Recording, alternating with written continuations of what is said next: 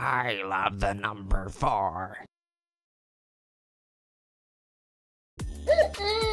Oh no, why is Seven crying? It's because this channel has forgotten them for 11 years.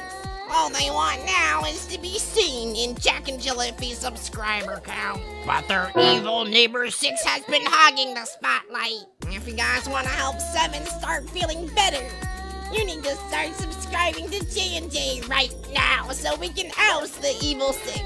Do it now. It would make Seven's day so much brighter. Okay, bye.